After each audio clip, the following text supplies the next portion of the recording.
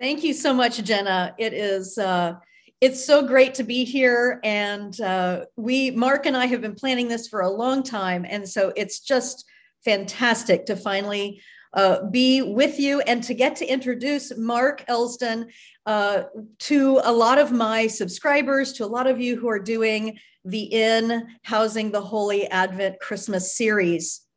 So, Mark, welcome. It's so great to have you with us. Great to be here. Really glad for the opportunity to talk and uh, get to be connecting with everyone. Great. Well, we have people continuing to come on, and so you, as you can see in the chat, we're from all over the United States and Canada, uh, and so really excited to have this conversation today. Now, Mark and I met through my research this summer. I did some research on a Lilly grant looking at entrepreneurial churches. These were churches who were uh, actually had a death date, right? An expiration date. And they turned it around with some really innovative ways to connect with their neighborhood. Uh, to be a vital place, to do church a little bit differently. And so, uh, part of my literature review was to find out who was, you know, helping churches do this. And Mark was one of those at the top of the list. And then uh, happily his book uh, dropped just about the time I was doing my research. So uh, it was really an important part of my research. But even more than that, then became an inspiration for creating the Inn Housing the Holy Advent Christmas series for this year. Uh, because I was just so inspired by the work that Mark and churches uh, all over the country are doing to bring uh, vitality and financial stability to their communities so that they can do uh, more work in the world uh, to make the world a better place. So, Mark, uh, at the beginning of every webinar that I do, I, uh, I play something to help center us, to remind us why we do this, why we're talking about this. So, I'm going to um, just share the trailer actually from uh, our Advent Christmas series that I worked on this year. Many of the folks on this um, on this webinar are doing that series. And I'm just going to play this as we center our hearts uh, for this conversation to remind us that uh, the work of housing the holy, making more room in the inn, is what we are all about. So let's take a look.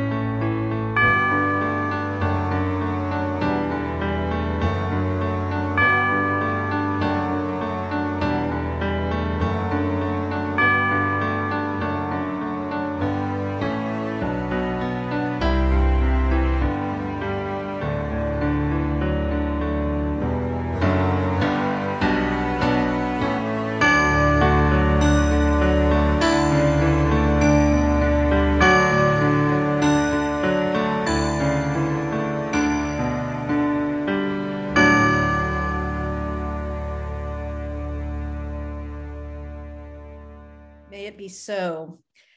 You know, in Mark's book, he says that uh, we have the opportunity to open the barn doors uh, rather than build bigger barns, uh, utilizing the parable of the rich young fool. Uh, and he says we have an opportunity to put our capital to work in the world. Mark believes, and I am uh, convinced that we have a wealth of creativity, perseverance, and resources that exist in church institutions that can be put to work for mission in new ways. And that's what we're going to talk about today. Let me just quickly introduce Mark. He lives uh, and works at the intersection of money and meaning as an entrepreneur, a pastor, a consultant, a speaker, uh, and he is the co founder of Rooted Good, which seeks to create more good in the world through social innovation. Uh, he's the executive director of Pres House on the University of Wisconsin's Madison campus and the owner of Elsdon Strategic Consulting. But before you call him, I think maybe he's not taking any more clients right now, but we'll check with him on that. Um, and uh, importantly, Mark is president of the board of directors of Working Capital for Community Needs, an impact investing fund that provides microfinance for the working poor in Latin America. So, Mark has degrees in psychology, theology, and business. And I think that's a winning combination. Um, and I can see all of that at work in your work and in your book. So, welcome, Mark. Thank you so much for being here. Thank you. Good to be here. So, let's talk about barns. Um, since it becomes a, uh, a, big uh, subject in my Advent Christmas series, that idea that, you know, no matter how, uh, what condition our places are in, our inns are in, there is the possibility of housing the holy. Um, that we can, in fact, take what we have, that we have perhaps more uh, resources than we can imagine, that we that we do imagine, and um, so I just want to kind of not bury the lead. Uh, I want to uh, ask you right away what do we need to know? What do churches need to know right now, right out of the gate? Uh, it seems to me that there's a lot of ways to do church, but maybe not all the churches are uh, sort of uh, looking in a broader scope about what they could do. Yeah, I, I think we're in an interesting time right now, the church broadly speaking, um, in that we're sort of dealing with three converging issues. Uh, one is, of course, f- sort of financial resiliency and questions about how church is funding itself and the, just the reality of so many, um, not always and not all, of course, but many um, facing uh, you know shrinking numbers, shrinking memberships, shrinking budgets, and that sort of thing. And I think that's you know broadly speaking happening um, around the country uh, pretty pretty regularly. Um, so there's that factor. There's also at the same time, I think a lot of questions about what does it even mean to be the church today, and and the pandemic has just massively sort of accelerated that question, right? What is it? Yeah. yeah what does it mean when we can't use our buildings were largely designed for sort of one thing, an hour on Sunday morning and then so, a sort of associated programming. That's basically what most church buildings were designed for. And then during the pandemic, when that's not what's happening in the buildings, or at least for part of the, you know, part of the, that period, depending on what part of the country you're in, um, what does that mean then? What does it mean to be the church, right? So there's that question. And then I think the third that is really important is that we're sort of dealing with not uh, uh, really difficult what i call wicked problems not wicked like evil but wicked like complicated complex problems in our neighborhoods in our communities um, racial equity issues uh, climate change um, disparities in wealth education healthcare you know there's just really really deep difficult, challenging issues. And I think many of us in the church want to be involved in those issues, but we're not entirely sure how.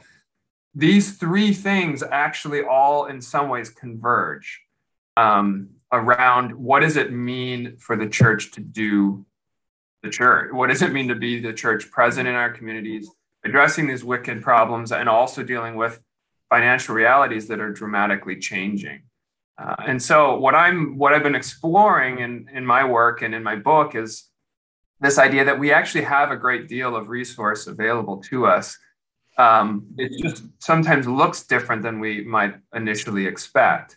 We have a lot of a lot of valuable property in many church settings, um, extremely valuable property that's vastly underutilized. Um, and we often, in many church, broadly speaking, again, sort of denominational networks or whatnot have a lot of money, uh, invested money. So we might not have the same level of giving that, that we've seen in, over the years or over the decades in terms of you know membership giving and whatnot, but we actually have probably more wealth in the American church than is the church has ever had in, in the history of, of Christianity. There's just there's trillions of dollars of, of invested assets um, uh, that are sitting there uh, in the stock market largely um, that church institutions own. And, and so the question I, I've been sort of wrestling with and asking and wanting to challenge us to think about a little bit is how does that all come together? How do we put the properties we have, the assets that we have, the,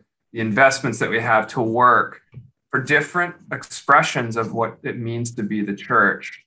Um, I mean, it's a very Christmas theme. How do we incarnate that in our neighborhoods, yeah, right? Yeah, that's right. That's right. Um, so you're really talking not just to individual churches, but certainly to individual churches. And I'm hoping that um, folks have taken me up on my suggestion, especially if you're doing the in uh, Advent series, to have your leadership teams reading this book either before or during, uh, because it's a wonderful complement to the spiritual question. you know, there's the financial questions, the spirit, the theological questions that you bring together. So it's individual churches, but it's also the church at large. What are we doing with this invested capital? Uh, and how is how is that um, really incarnating the values uh, that we believe uh, that that they should be put to work to make the world a better place. Um, so let's stick with theology for a second.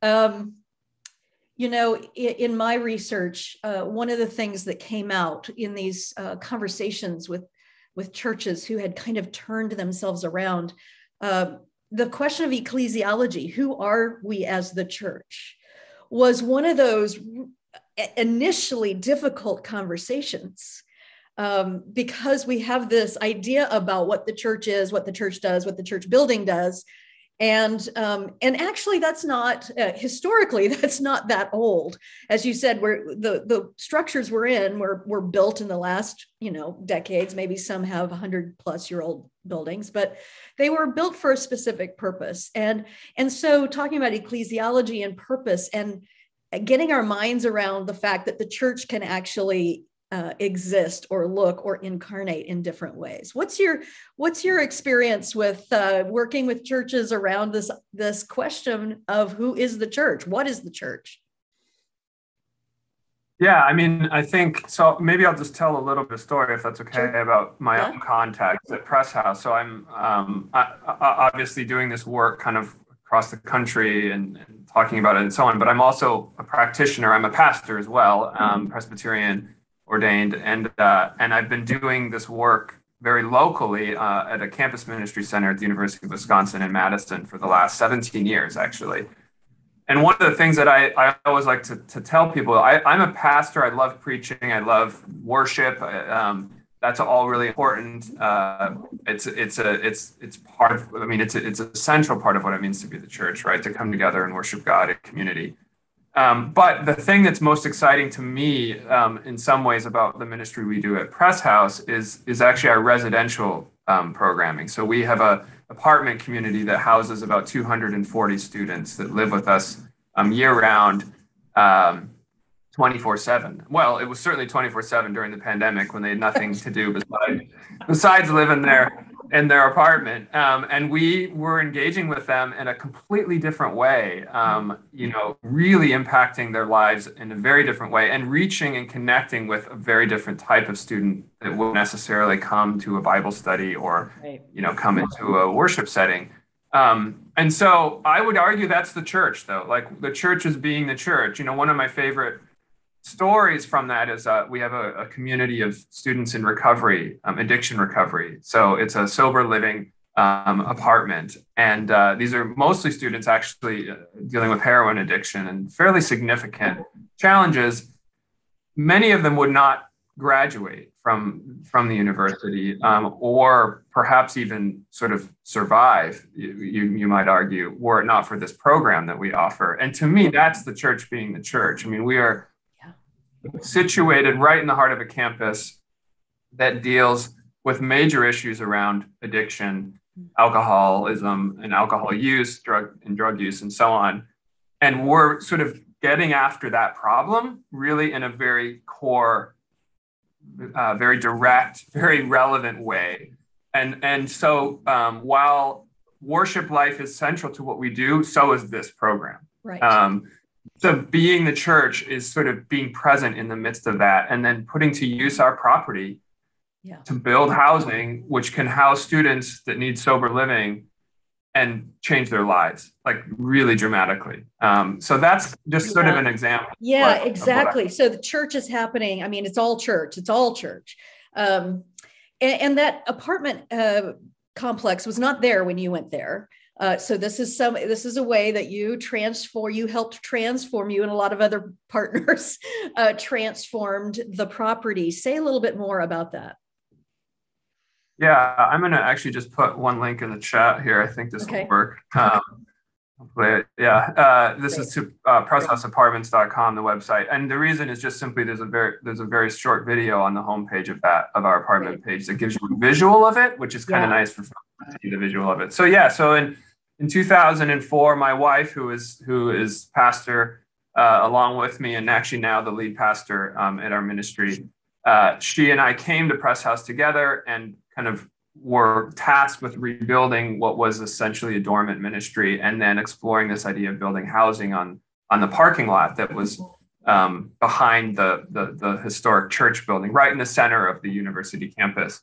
And so we put up you know i mean this is like a obviously really shrinking the story but in the end we we we borrowed quite a lot of money and uh, and uh, and we put up a seven story um, building which which can be seen on that website link. And um, and we house you know 240 students. About half of them are involved in purposeful living communities and receive scholarships in their uh, as part of their living that with us. Um, last year 95% of them were engaged in some sort of activity that we were doing this is not Christian housing. The students are all mm-hmm. kinds of faiths, all kinds of backgrounds. That's intentional. We um, we want to be just really connecting with who's present on the campus, um, and it's uh, it's been remarkable both programmatically and financially. It's also changed entirely the, the financial picture of our organization. Um, our budget grew 1,500% um, over the period of years where where where we could have launched this and uh, and um, it generates more than two million dollars a year in revenue for our organization and has really changed everything about about what we do. Yeah.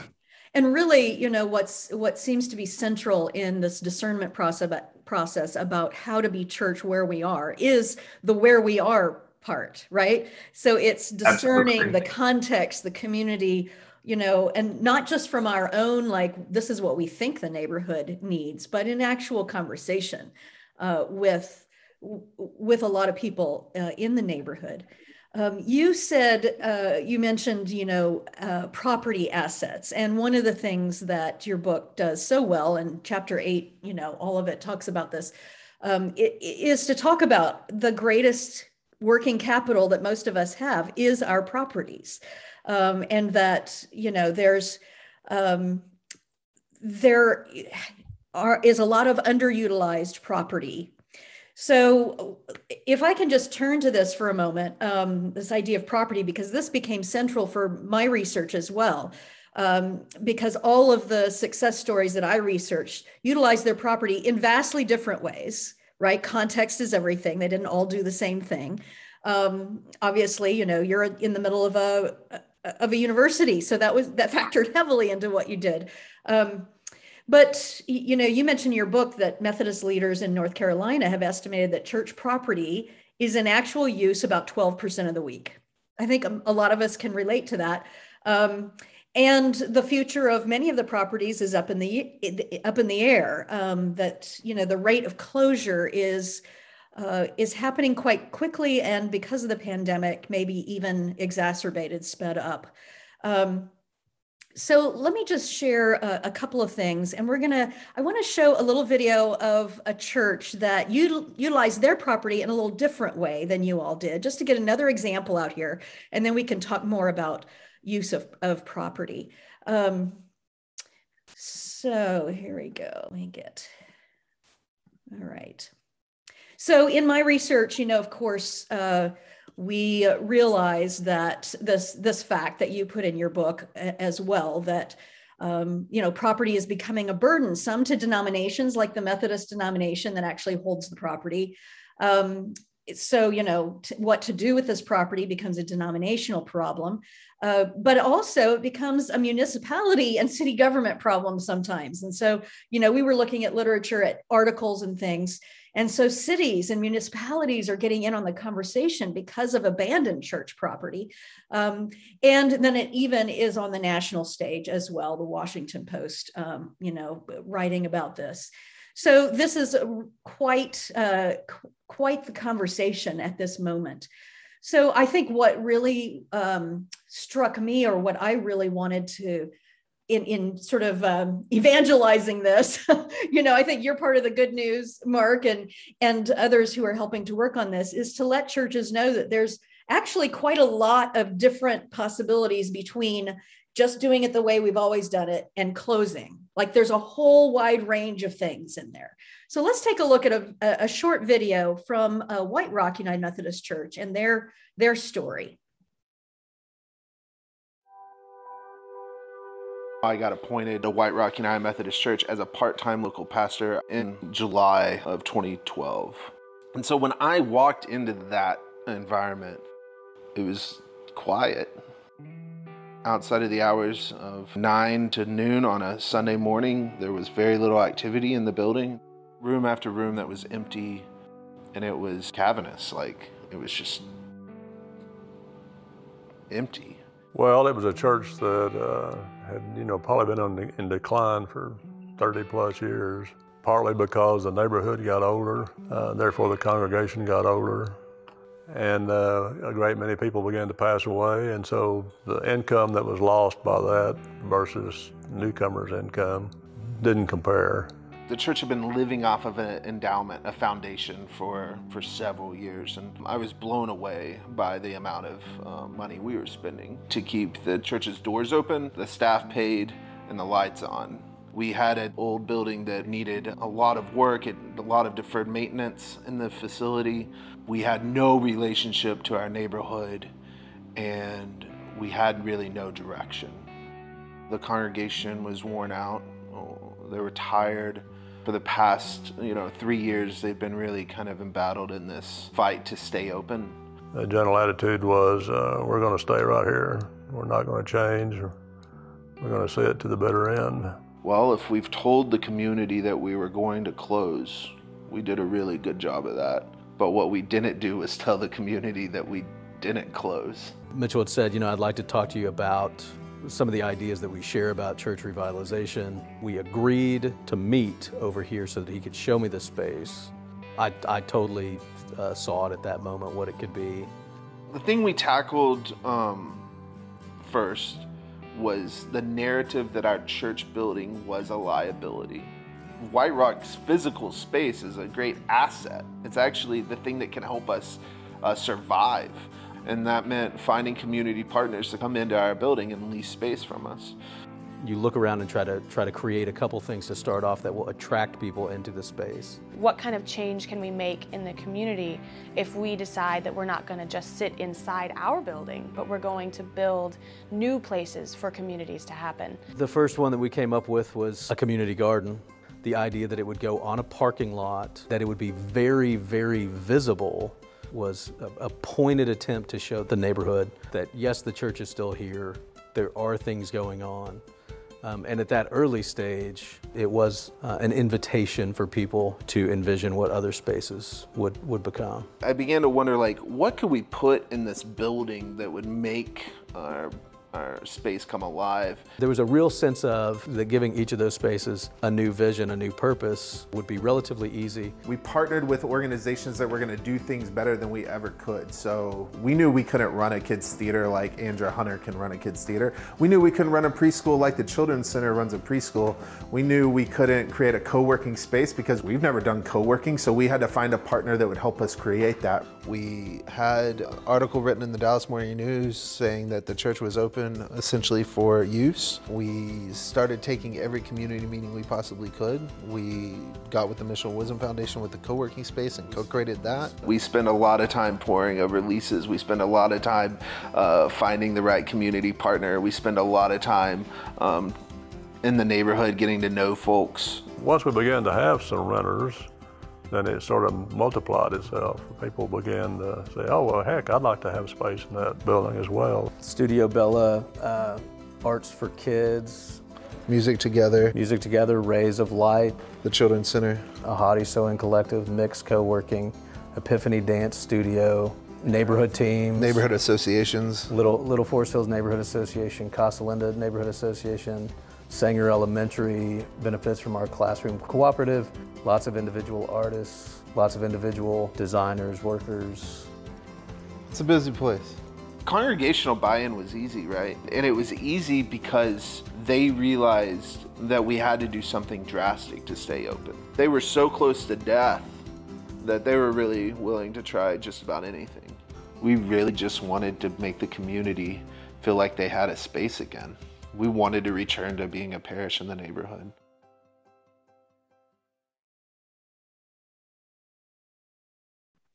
So, Mark, what what are your thoughts uh, seeing that? Um, so many things that I think are simpatico with what you've written as well. Yeah, it's a great example. I mean, it's a great example of uh, turning the idea of a, of a liability into realizing that it's an asset um, and then making use of it and really just really opening that up and making use of it. I think that's fantastic. I mean, what a great what a great story, what a great example of trying to connect with what was going on in the neighborhood. I think another thing that's really interesting about that that's so true is partnering.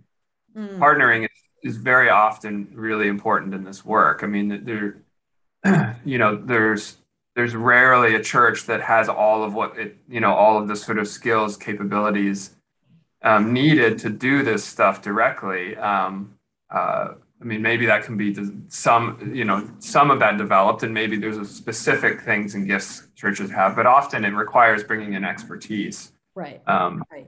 to do that work. Um, the one thing I would actually just I love it. I love the idea, but I will say that one of the things I've seen that churches often move to right away is renting space.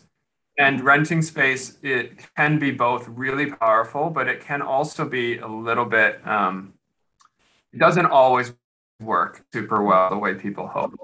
And there's a couple reasons for that. And one is that it often doesn't generate the revenue folks really think it will, mm-hmm. um, especially if you net out actual costs.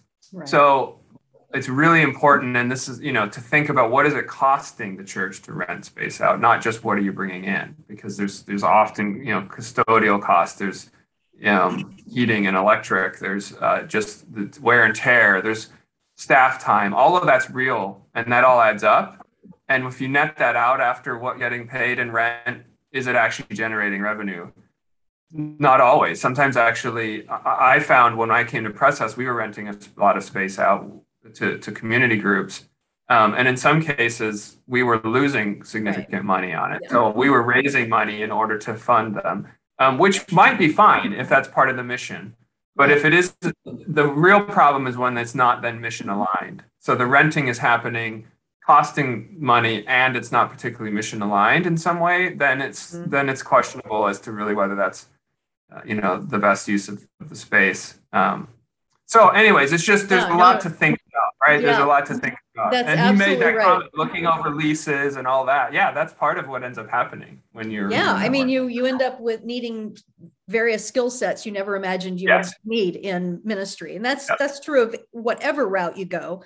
But I, we also found in our research that um, you know it's not as if pastors need to to actually get all the skill sets in order to making something happen really the biggest skill set is collaboration right so learning how how to collaborate with people who do have the skills uh, to help you imagine now um, so so renting space is just one piece uh, another case study uh, was a church that uh, that actually got uh, sold their church building um, because it was in a neighborhood that wasn't especially aligned with their mission.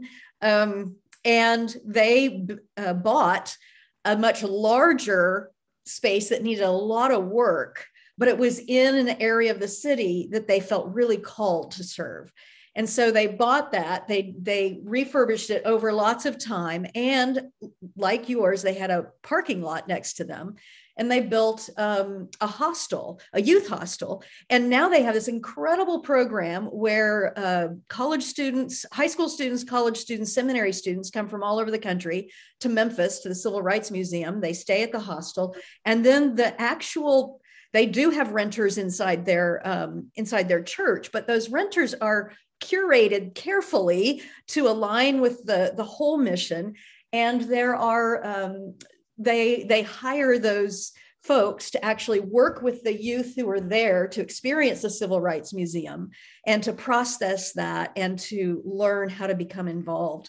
Um, and, and, so this is an example of uh, of looking at your mission, letting that drive you, and then say, you know, is the place we're at even, um, you know, the place that really we we should be in order to to align ourselves with, with that mission. So, you know, it can be highly um, creative outside of the box, even looking at selling property and buying other property, that kind of thing. Any other examples that pop in your mind, Mark? Well, so there's an interesting example here in Madison. Um, so I'm working uh, really good. I think we might talk about this a little bit more later, but we we are working with churches around the country through our Oikos Accelerator, which is an accelerator program that helps congregations think about using their property for social enterprise and revenue generation and, and mission aligned um, money uh, activities. Anyways, there's two churches here in Madison that are actually different denominations, but they're choosing to um, merge basically. And what they're doing is they're selling one of their properties uh, to a developer to build housing, and then they're taking the proceeds from that sale in order to redevelop the other property into a more community center um, where the church will meet for worship and its its other activities, as well as then be better designed for the sorts of things like we saw in that video that they want to do, um, intentional partnerships and, and programming. So that's a really interesting example of a whole bunch of things going on: merger, right? Um, well, I love you said they chose sale, to merge. They... Yeah, yeah, yeah. I mean, they chose to merge. I mean, you know, usually merger is like, you know, such a downer. People see it as like failure. But no, this is like the this is the plan to merge and to use the assets yeah. and create something amazing. Yeah. Wow. Well, I mean, it, sometimes you know, I have a I have an MBA, which sometimes isn't always, you know, it's it's maybe not always a good thing, and the church is certainly not a business, but merger is, is extraordinarily common in the business world and it usually is done in order to do something better to do something more to do something to bring together synergies that might be you know exist or to bring together efficiencies in order to do to carry out the mission of that business better there's no reason why in some cases that isn't also true for churches that we That's can right. we can do that and we can actually then um, produce more fruitful ministry and uh, and and manage kind of the realities of our environment and the changing dynamics of of the market, so to speak, that we're dealing with, and what people are looking for, and what what's um, what's connecting. Yeah. Yeah. And that's really, I mean, you're you're speaking of a particular mindset and uh, a shift in mindset around, you know, what what does a merger mean, or any other kinds of things like this that that in fact, um, you know, you say uh, in your book that we have to shift our understanding away from you know this is failure to to this is actually quite innovative and this is life-giving this is resurrection and this is somebody said in the in the chat i saw over there it's like composting right? Which creates fertile ground for new things.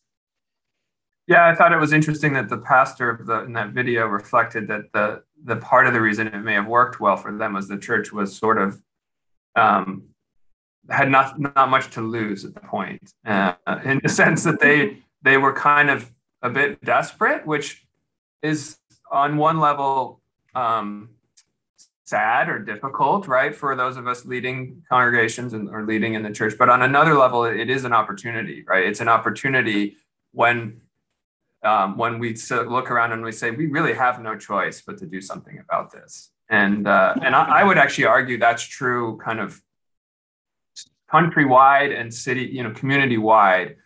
There is going to be a massive shift in the use of church property over the next five to ten years. Mm-hmm. Um, that's going to change the very social fabric of our cities and our neighborhoods. And there's whether we like it or not, is somewhat irrelevant in that it's going to happen.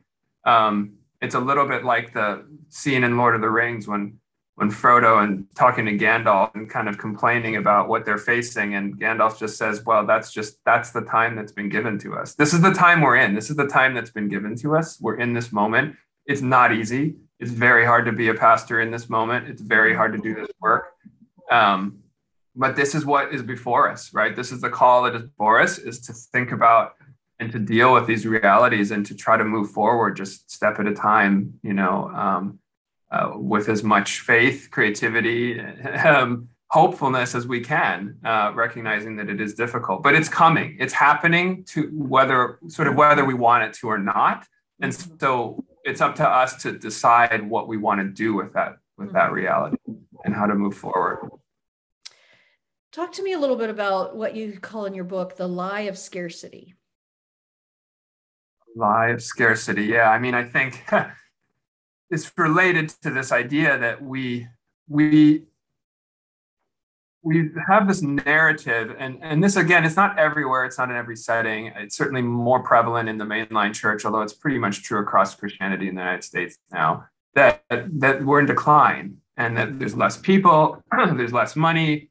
You know we can only we can only sort of hunker down we can only we can only shrink we can only um, do less and i just don't think that's true and again it, it's it's partly because we're thinking about a model of funding and a model of ministry that we've had for many decades, but that is changing, where basically people come to the church for worship and then they give money in the plate, or maybe now they give it online because we figured that out, but it's still the same thing, really. and and uh, and that model to some extent is still happening, but um, but it's not going to sustain financially uh, in all in all set in all places anymore. It just simply isn't going to. You know, in my campus ministry center, campus ministry for many many decades was funded by denominations. So to sort of extend that story, I just told money would flow from congregations to uh, from members into congregations, then up to denominations, and then denominations would flow that money back out to mission mm-hmm. and to things like campus ministry. Well, at this point, I our budget is two point four million a year, and I think we get a thousand dollars a year from the denomination. I mean, we nothing basically, right? We're totally on our own. Um, it's a little bit different in different parts of the country where there's still kind of vestiges of of that, but but by and large, we're on our own to figure out how we're gonna how we're gonna fund uh, fund our work, and so we got to think about the other assets that we have. Again, property being one of those for sure, that's extremely valuable um, in many places. And then invested assets. There's literally trillions of dollars invested that the church that the church you know um, owns and that the church broadly speaking owns. Some individual churches have endowments that was mentioned in that video actually um, others uh, uh, maybe don't, but their denominational structures do. Their pension funds do. Their foundations that are attached to them do. The seminaries do. Church-related colleges do. I mean, there's there's there's billions, trillions of dollars of invested money there. Um, and what we do with it basically is we put it in the stock market and we we basically hand it over to Mark Zuckerberg and to Jeff Bezos and to Apple and to Google and uh, they use that money every day every second of every day to grow their business. And they pay us a small amount of that back in terms of uh, investment returns, which we then use to fund things that we do. But what the question I've been asking a lot lately is why aren't we using that money, the capital, directly to, to actually invest in some of these things and to actually grow some of these enterprises? Um, not just take 5% uh, uh, annual earnings off of these huge pots of money while most of the time that money is being used to just help somebody grow their business. And instead, we could be um, potentially launching and growing um, enterprises within the church. Um, that is partly what we did at Pres House. We actually took uh, an investment. Part of our part of our financing is an investment from the Synod of Lakes and Prairies, a denominational partner, and they took a quarter of their endowment out of the stock market and invested it at Pres House which allows us to do our ministry and then we we pay them back a return on their investment and they use the money we pay them back to do ministry so we're doing ministry with their money and then we're giving them money back and they're doing ministry with their money and it's all staying within uh, the family so to speak right. and it's all doing ministry versus helping you know make Instagram more addictive for teenagers. Right, right. right. So you've created an, which, an ecosystem of sorts that feeds right. back into the the ways that you want the money to work. Correct. Yeah. Yes. So this might be a good time for for us to bring up a couple of terms that people may or may not be familiar with. Uh, that's impact investing and what you call redemptive entrepreneurship. Can you just tell us a little yeah. bit more about that? Yeah. So, uh, um, if you're interested in terms, there are there's a whole glossary in the back of my book that I tried to write. Thank you. Or sort of, yeah, around business terms, but with with just like a more of a church mindset, like how we would approach these things.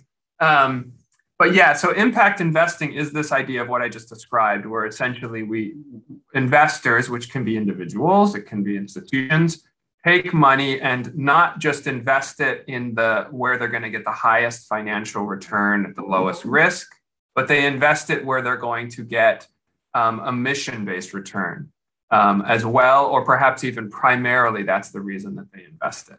Mm-hmm. Um, so traditional investing is really putting your money wherever you can get the most financial return from that money. Uh, and that lately has been like Facebook and Amazon and you know, Zoom actually would have been a great place to put it. Um, Tesla has been a great place to put it, right? Um, recently.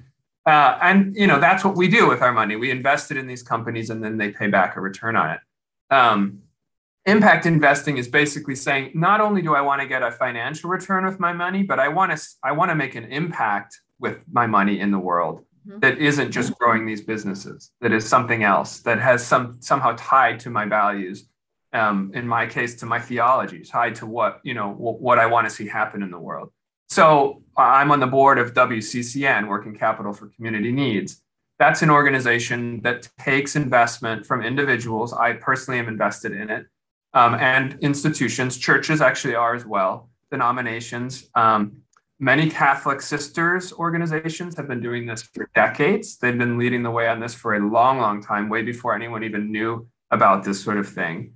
And they take uh, uh, money and they invest it in WCCN, and then we actually lend it out to the working poor in Latin America for them to grow their their businesses, which in is usually like buying an oven so that they can make tortillas yeah. and sell them and provide for their family.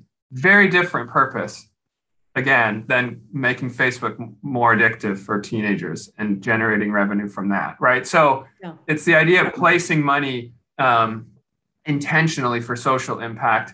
And often there are financial returns associated with it as well. They may or may not match kind of the other returns that are out there, but uh, but it is possible in many cases to, to generate both mission impact and uh, financial impact. Social entrepreneurship is kind of where the money goes, right? So social entrepreneurship is what we did at Pres House, where we built mission-based housing um, that uh, generates revenue and serves a social good, both. And, uh, and so we've engaged in this idea of, uh, of social entrepreneurship, re- redemptive entrepreneurship, social enterprise. They're all kind of related terms that basically mean doing something interesting using kind of sort of lightly touch, you might say, business practices, revenue generation to also impact lives of, of folks and uh, and doing it in a more financially sustainable way. Um, like one example that I think is really interesting is some churches have been exploring turning food pantries that they might have had run for years and years and years, beloved kind of ministries, into uh, grocery co-ops, where they basically actually greatly expand the food pantry and then invite the neighborhood to become members, a member-owned co-op grocery store, they would still perhaps give food away to those that need it um, to be given to them, but it actually produces a much more sustainable, um, long term viable, wealth creating of sorts uh, model um, and addresses the food desert that might have produced the need for the food pantry to begin with. Um, and so that's a great idea, a great example of social enterprise redemptive entrepreneurship um, at work and using church space uh, to do that. So, um, all these great ideas, you know, people may be saying, "Gosh, I, how, how do how do we even discern you know where which direction to go what to do. Um, and that's really you know you're you're part of the co-founders of rooted good. Um, and you mentioned the accelerator uh, the oikos accelerator.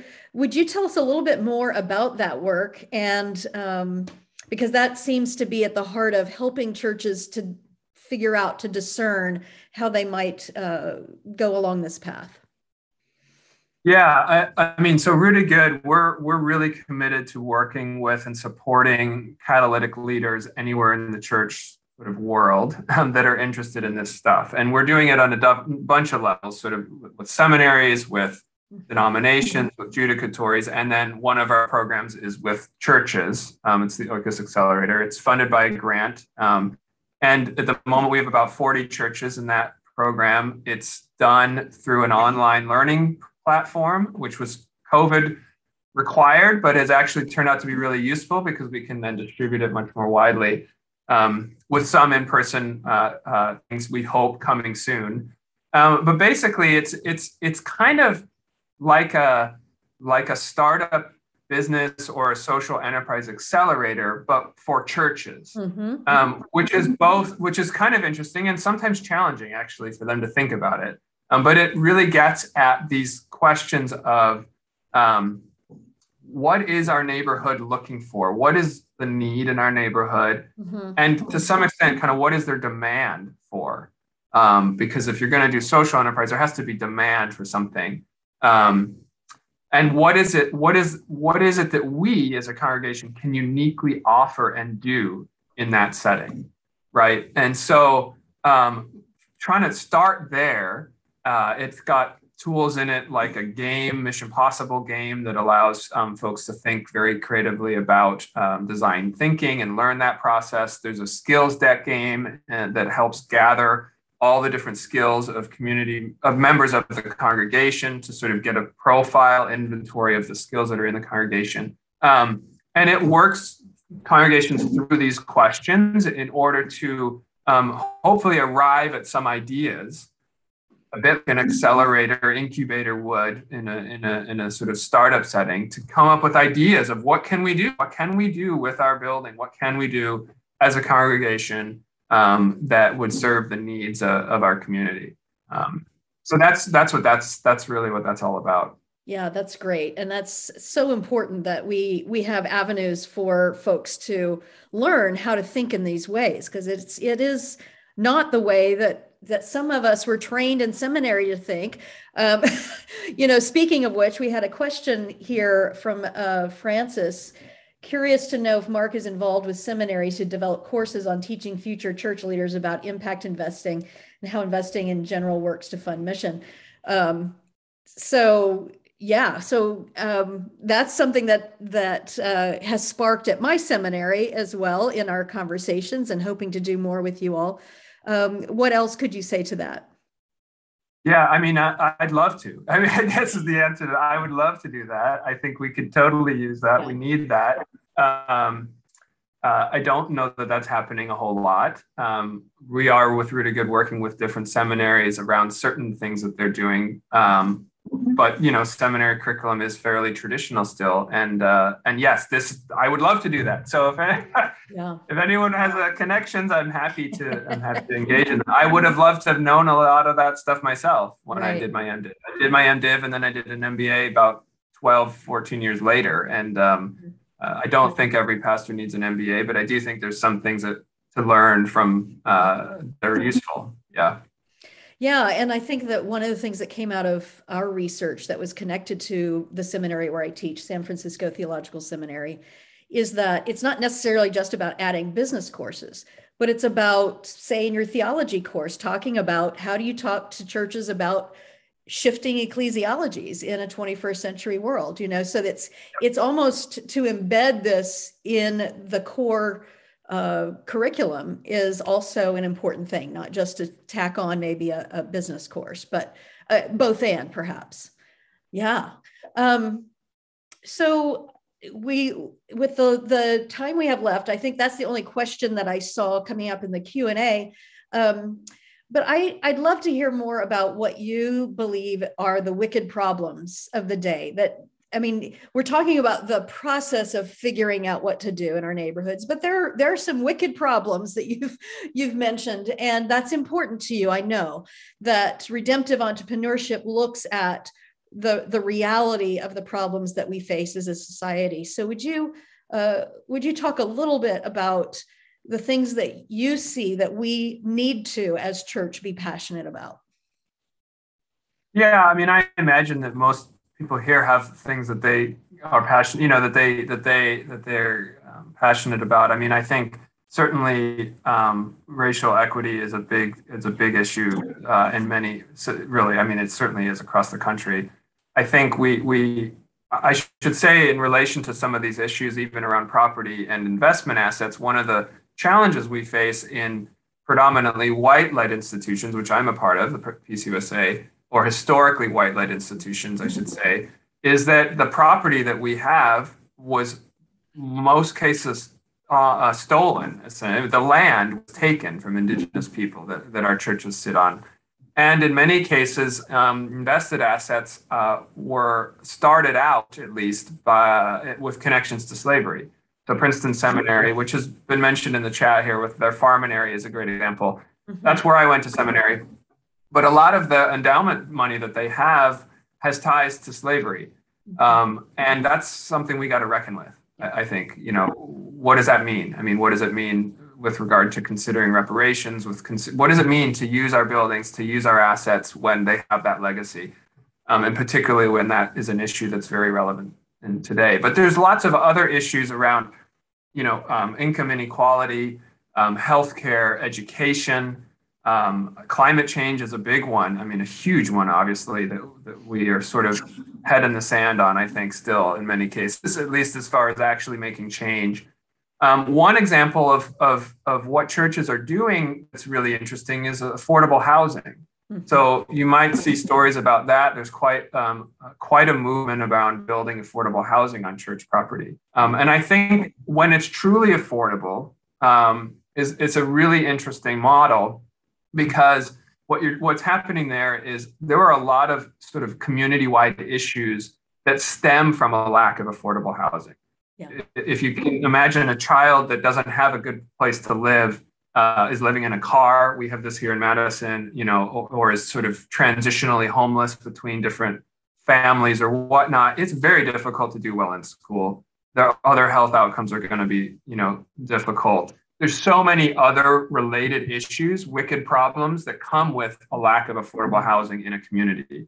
If churches have property in central spots in cities or anywhere really where affordable housing can be built, that's something to consider because that doesn't just then kind of um, address the symptoms of issues where the sorts of things that churches often get involved with um, food insecurity and so on and so forth.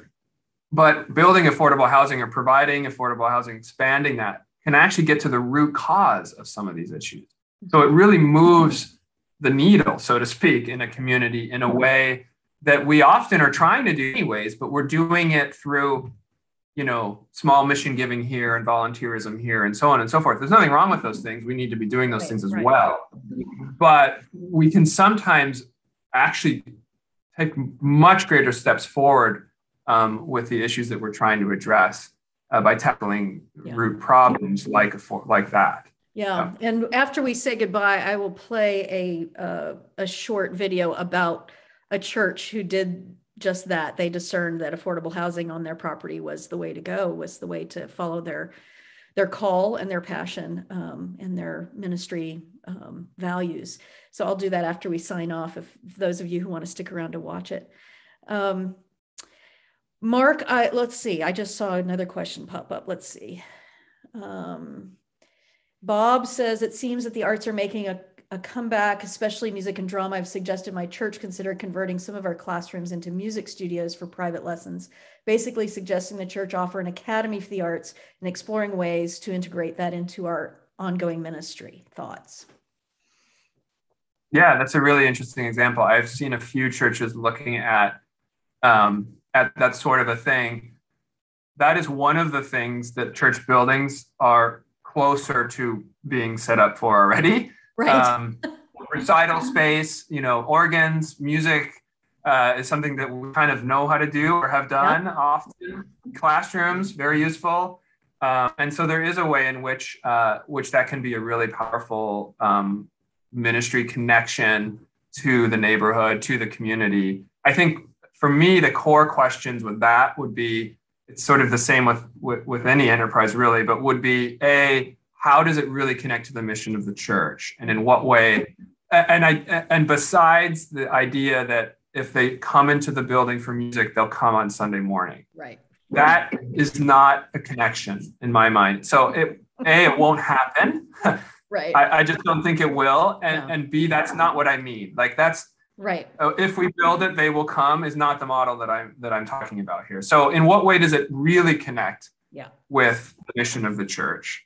That's probably the most important not just if they're in the building they might show up on sunday. That's not what that's well that's, and that's the that's really one of those mindset shifts that we're talking about too.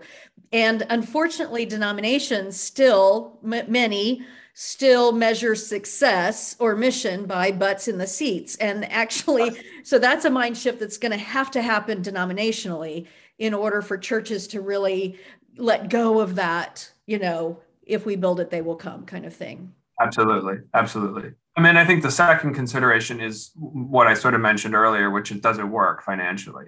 You know, really, does it really work financially? Right. um, not just sort of the simple rent payment you might receive, but kind of the whole mm-hmm. costs associated with it. Does it make sense? Is it um, is it viable? Because you can put an awful lot of effort into things that a don't really help your mission, and b don't really generate revenue. And if you, then, then it's why are we doing that? So let's do things that are gonna right. that are gonna help um, uh, address both of those problems. Um, uh, but yes, I think figuring out different ways to measure success is important and to describe what success looks like because it, um, it, it can't just be how many people are in the seats on a Sunday morning. Um, right, right. What, what does it look like? Again, that's back to the very original question we started with. What does it mean to be the church, and how do we describe that, articulate that, mm-hmm. um, and paint that picture and then and to some extent perhaps even measure that yeah. yeah.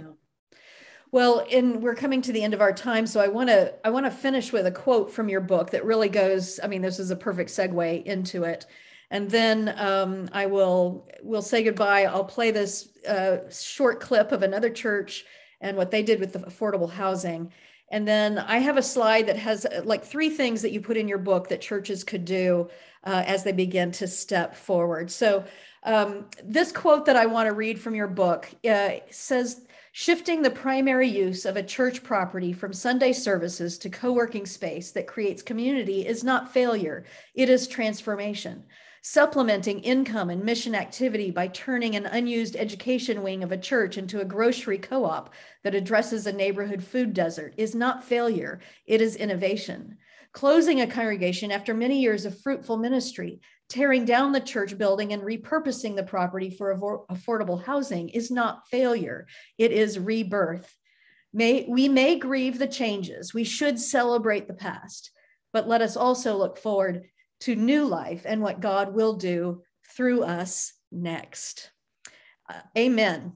Amen to that, Mark. And I just want to thank you for uh, spending time with us today, but also for the book, for your work, um, and for the ongoing conversation that uh, I'm hoping to have so that our seminaries can also begin to help prepare pastors um, for for ministry in this in this age where these are some of the seminal questions in the um, so any closing words for us mark I mean, that's great. Thank you. It's been wonderful to be with you. I just want to offer blessings to everyone who's who's here and uh, who's listening, watching later um, on your ministry. It's it's a tough time, and uh, I just want to offer my my blessings to you and press on and let's do this. Let's do this work together. Yep. Yeah, that's great. Thank you so much, Mark. All right, friends. Uh, I will. Some some people asked about links to the videos. I'll put those in the notes uh, of this webinar uh, the chat in the notes because some good ideas were coming through in the in the chat as well. So um, let's let's end with uh, another little story and then uh, have a blessed day, friends.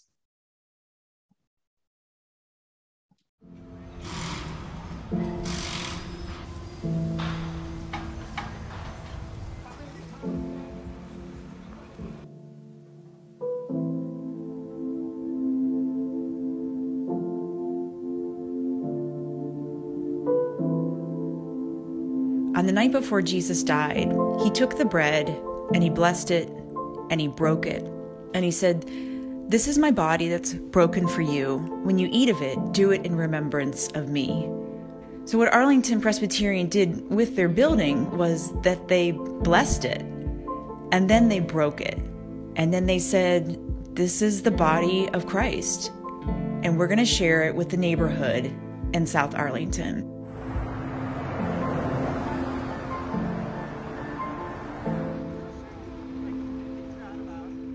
Vision was to meet the neighbors where the neighbors were at, and that was that people cannot afford to live in Arlington County. So if you are a daycare worker, if you are a construction worker, if you are working in the schools, you, you, you want to be able to work and live in your community.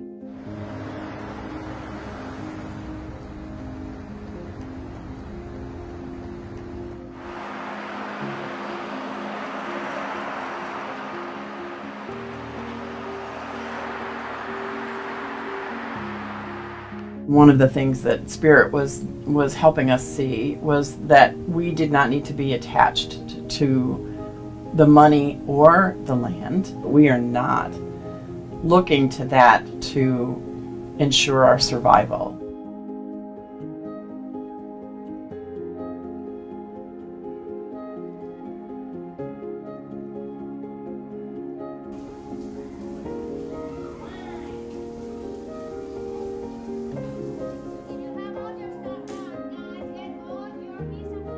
Entrepreneurship spirit of these individuals um, bring them this uh, excitement and, and, ideas to open businesses. So it's a, it's a way to use food as this center, as this catalyst for change that involves the community at large.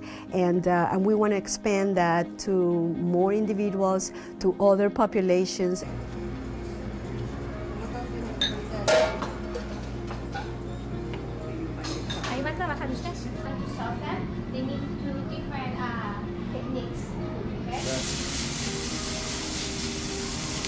So I have this image of uh, like this building that's just full of power. That that we're in this place where we all are learning how to be responsible citizens to create a South Arlington that you know has even more affordable housing, that has even more jobs that have a living wage, where where we can all live, you know, as fully beloved and with our belovedness as an essential part of who we are.